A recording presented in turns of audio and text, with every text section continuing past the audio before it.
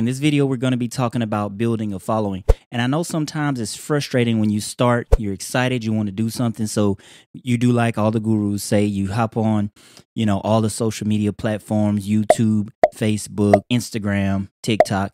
But the problem is that that stretches your focus too thin. So I'm going to give you a couple tips in this video to show you how to build your following. And I know it gets frustrating sometimes when it seems that what you're doing is slow and ineffective.